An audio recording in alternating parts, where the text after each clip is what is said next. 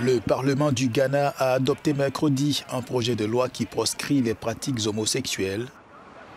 Le texte reste encore à promulguer par le président de la République Nana Akufo-Addo, mais il est déjà mal perçu.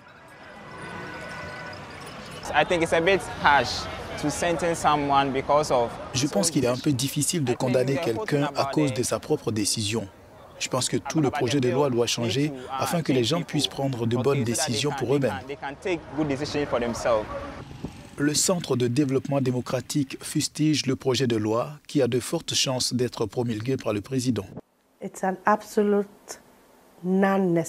C'est absolument inutile. Rien ne nous oblige à avoir un projet de loi qui criminalise les gays dans ce pays. La présidente de l'ONG n'entend pas s'arrêter là. Audrey Gadzepo a des doutes sur le cadre légal de cette initiative. Um, Je pense qu'il est de notre devoir en tant qu'organisation de la société civile de nous adresser aux tribunaux afin de vérifier les dispositions de ce projet de loi par rapport à notre Constitution, car la Constitution est la loi suprême du pays et tout projet de loi du Parlement doit être conforme à la Constitution. Nous ne pensons pas que ce projet de loi le fasse.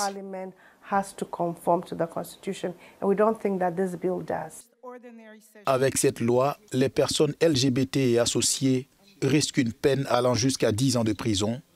La communauté internationale l'a condamné jeudi. kind. Give you, first of all, the